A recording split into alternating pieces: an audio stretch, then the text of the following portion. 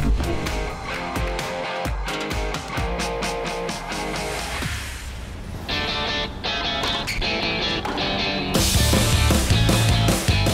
I am Paradorn Srichaphan.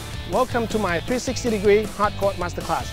Now we're on the 360, so please feel free to move around. And today we are going to talk about attacking the second serve.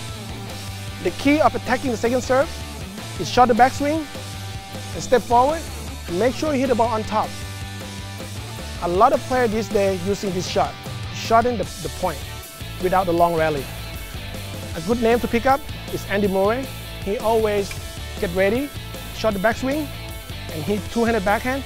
He step forward and make sure he hit the ball on top. So, let's attacking the second serve with a 360 degree.